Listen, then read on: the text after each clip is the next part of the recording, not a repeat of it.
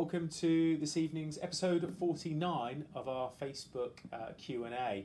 And uh, last couple of weeks, or last week, we were doing an interview with John Melton. And uh, thanks, John, for joining us on Facebook. It was really great to talk about uh, program management and uh, particularly working with organisations. Some of the little nuggets of information we had some great feedback on this week that would I think would help companies who are in this game working with uh, vendors, how to manage their, their vendor partner relationships better. So thanks for that insight, John. Um, if you've got any questions and you wanted to ask us any questions on Facebook, um, just go onto our website, vineresources.com. You can send us a question in our chat box. We've got an ch- instant chat on the website and we'll answer some of those questions. But this week, we wanted to bring another guest on who we wanted to introduce you to. Um, his name's Andy Labrum. We'll bring Andy on in a moment. He's going to join us via Skype video.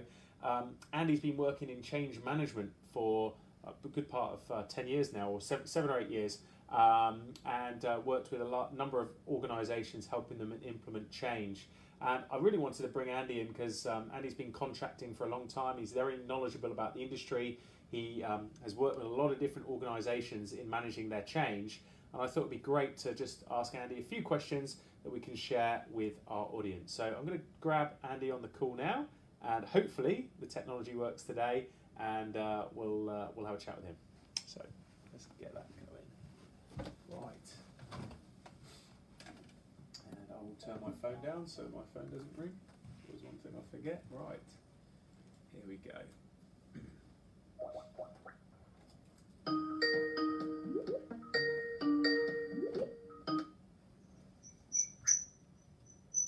Andy. Hey, how you doing? Very well, thank you. Thanks for joining yeah. us. Not at all. Thank you very much for, uh, for giving me the opportunity. Appreciate it. Thank you. You are more than welcome. And, you know, by the way, first of all, it's, it's uh, thanks for being brave and coming on to, to Facebook Live. So yes. it's, uh, and for if you're watching this later on on LinkedIn, Andy's very kindly offered to share some of his insight and wisdom in change management. Uh, so this is completely unscripted. We've uh, we just want to chat about it. So, Andy, can, do you mind me asking if uh, just to introduce you to our audience and our, our listeners and viewers? Yes. Tell me, tell me a little bit about what change management is. Yeah, certainly. Um, for me, change management is very much more around the implementation. It's actually more about embedding something correctly. Um, project manager, I've done both. I've been a project manager and a business change manager. Uh, as a project manager, it's much more around um, the installation of something. So it's almost like a, a, widget versus the people side. And, and people talk about softer skills, but it's it's a lot more than that. It's it really is much more about building trust and, and you know that honesty and integrity and everything else is a huge part of it. And I think organisations are getting much more aware of, of the importance of it now, much more so than they have been previously. They're still seen as a little bit pink and fluffy to some extent. Yeah. Um, but it is it's so so important.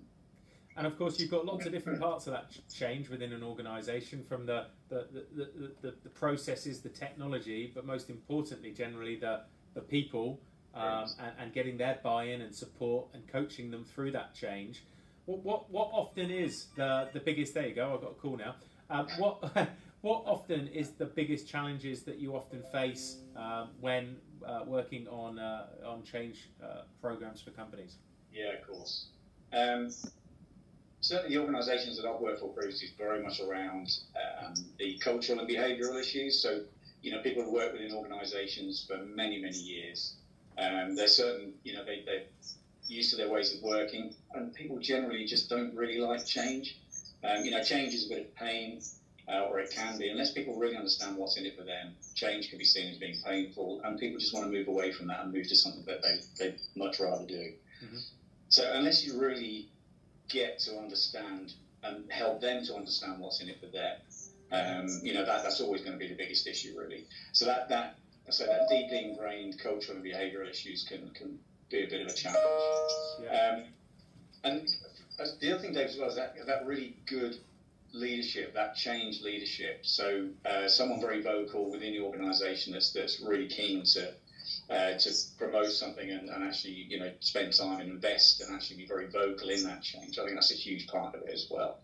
Um, you know, organisational readiness, these sort of things. We talk about lots of different stuff really, but they're, they're the sort of key issues really. Having someone who's vocal and getting that middle management, that that that supervisory support is a huge part of it as well. So whenever I've been involved in any sort of change program, really trying to win their hearts and minds and get the supervisors to understand um, those that are managing the frontline teams, getting them to understand why it's happening, what it is that's happening, and, and how to really um, to promote it and how you know what is in it for them is, is a huge part of it. That fight. What, just talking about, I mean, obviously, and, I know you're a contractor as well. You've been working with many different organisations across industry within change. What out of interest, I mean, why do companies tend, uh, and just for our viewers, why do companies tend to bring in someone perhaps on a contract basis rather than use their in-house permanent resources for change projects, or, or could potentially do that? Yeah, I think it's a really good question, and why would people do that? Um, a, a, huge part of that, Dave, is very much around the uh, understanding the skills and uh, the knowledge and experience that you brought in from other organisations. So it's quite easy to be fixed in a certain mindset. You know your organisation very, very well, but you don't know. So my background is predominantly public sector, and, and prior to becoming project manager in business change, I was in policing. And so you know, resilience of being able to deal with, uh, you know, challenging stakeholders. These are all things that um, that I'm, I'm used to doing, and, and people from outside an organisation can come in with a slightly different mindset mm-hmm. and and just look at something with fresh pair of eyes. Mm-hmm.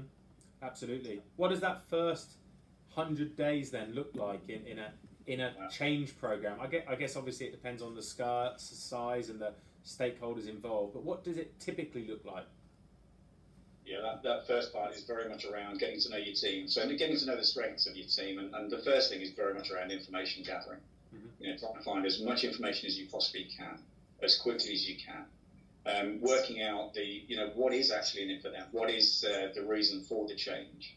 Mm-hmm. Um, and I say it's, it's, very much around that, uh, the risks, uh, what are the benefits, the disbenefits of doing this program. Mm-hmm. Um, understanding your stakeholders, what stakeholder analysis is being done. So really getting to grips with, um, you know, with who are the key players, how do you shift people's mindset to, to get into the right frame of mind to actually uh, encourage the change. Mm-hmm. Um, you know, where does business change fit within the program?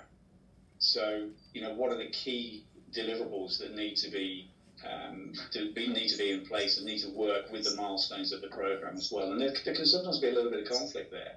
Yeah. There can be a bit of conflict between you know the program and uh, and business change activities because you know the business change manager and people working alongside really understand where the rub is, where really understand where the blockers are. And trying to sometimes get that over, and there can be a bit of a clash between the program milestones and whether an organisation is actually ready to, to deliver on time and, and really get that successful embedment.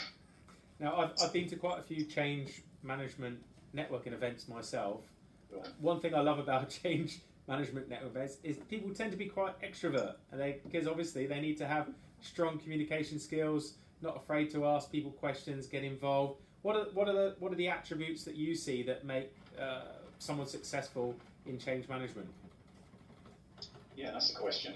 The like, relatability, I think, being able to get on with people. Yeah being able to understand how people tick. Yeah. What makes people tick. Um, you know, those people skills are, and this is why it's seen as a bit of a softer skill, really, those softer skills that people talk about with change management, why it's a little bit pink and fluffy, because rather than just delivering something, mm-hmm. it's delivering a whole behavioural change potentially, new ways of working. Um, so, yeah, the, the, key things, though, I think, as well as those softer skills, is it's being able to tie those in and work closely with the program team and understand, you know, exactly what the requirements are from the program team. So it's not just being seen as being, you know, nice people who get on well with people. It's actually really about, okay, let's go in here and find out exactly how do we measure this. So what is the change? What can we do to measure it? Because you'll have some people that uh, are willing to go with the change and will really enjoy it. You'll have other people who will be a bit passive, not really sure.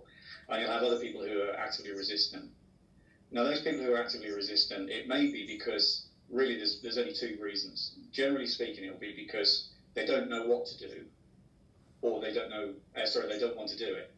So they're sort of the key, the key issues really. And if you can deal with those, so you can either train people up and help them to understand what it is that needs to do, um, uh, or you know, it could be that people eventually vote with their feet and they say, look, that you know, this isn't what I want to do. This isn't part of the organisation I want to be part of. And obviously, you don't want that to happen, but ultimately, people have that choice. So, you know, you bring in people, you've got hearts and minds, you've got people who are willing to do it. Those are a little bit passive that you can hopefully try and move, you know, one way or the other. Those that are very resistant, you either train, change their mind, get them actively involved, be, so they actually become part of the solution as well. Um, you know, all those key things, really, really important things with regards to business. Okay. Often or not, um, when change programs come about, there's obviously some people that perhaps, or vend, I, I'll, I'll mention vendors because some of those legacy vendors, if, it, if there's software involved, particularly, maybe on their way out the door, mm. of course, who may have had relationships and, and licensing relations with that organisation for many years. How do you keep them engaged within that change program when perhaps they are, are, are being shifted out of that organisation? Yeah, very difficult. There, there can uh, may well be that there's uh, you know KPIs that you have to get KPIs involved and um, uh, you know some real measurable. Um, you know, it, it is unfortunately that carrot stick type thing where you know you can either encourage people to, to go with it. You know, they've signed a contract, they have to deliver, and therefore you keep pushing, pushing, pushing, and working with them. Mm-hmm. Um, but ultimately, there've got to be those those KPIs as well. And I said earlier, you know, there has to be there has to be some way of measuring.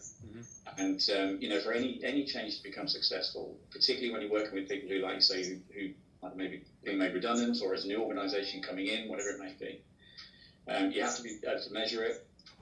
You know, those benefits have to be obvious as well. Mm-hmm. And they have to be obvious to those people who are working inside the organisation or, or outside as well. And so, you know, those contractors, those people who work using that software solution potentially, you know, it needs to be obvious to them and us and people, our customers effectively, that, um, you know, these are the benefits to, to this solution. And, um, you know, the other thing as well with, with keeping people engaged is momentum as well. You have to have that momentum. You've got to keep people going. There has to be an, if you've got something that's dragging on for ages and ages, and people are stalling. And this can sometimes be a bit of a tactic that I've found as well, a bit of a challenge with some programs, is that you get people saying, well, I can't possibly do any change until I get this information. And, you know, it can be a bit of a stalling tactic as well. So I think those three things, you know, being able to measure, being able to understand and, and articulate very easily what the benefits are. Yeah. Um, and also then to, to create that momentum and build that momentum are hugely important. Fantastic. And I've got a final one for you. Uh, when the change has been made, there's a bit of celebration, you know, a bit of a celebration, hopefully, depending on the size and scope of the program. Yeah. How do you keep that organisation engaged in that change, uh, particularly when perhaps some of that target group have gone off and they're onto something else? Yeah, yeah. This is quite challenging, and I've certainly found this in, in, uh, in a number of organisations that I've worked for. Um, you can do simple things like dip sampling, so management going out and ensuring the new ways of working are, are being adhered to. Mm-hmm. Um, and again, I mentioned KPIs earlier. So if you've got some way of compliance and assurance measures, that's hugely important as well. Um, I think engaging, something I found as well a few times is that actually the, the, the business change teams can be withdrawn a little bit too quickly. Mm-hmm. So we can't actually go out and speak to people. I think it's really important to be able to go and spend time with them. Once the new changes have taken place and you've gone past the go live date, yeah, so go and sit in the canteens with these people. These, these you know, whoever it is has, has to change. Yeah, go sit with them. What are the problems you're encountering? You know, what can be done? So these post implementation reviews, a lot of time lip services paid to these. Unfortunately, these are vitally important and that someone actually takes ownership of these post implementation reviews. It can be a bit of a tick box. Yeah. But the hugely important thing is these PIRs to make sure they actually take place, and with it alongside you know compliance assurance, KPIs. Um, you know you can do surveys as well if it's remote. You can get surveys done and things, and, and you know it, it's hopefully you've built that relationship and, and you built the trust and, and know that you're reporting honestly. And so you know again, it's, it's huge, huge important. Andy, thank you so much for that insight. I'm not going to throw any more questions out at you, and I know I put you on the spot a bit there, so Absolutely. Thank you for being so honest with your answers as well. Um, we'll we'll catch up in a in a couple of days, I'm sure. And uh, obviously, I know you've been contracting for a long time, so you know the market very well. Um, have a great evening. and uh, we'll, we'll, and again, thanks for joining us on the live show. We'll see you soon. Take care. Thank you. Cheers.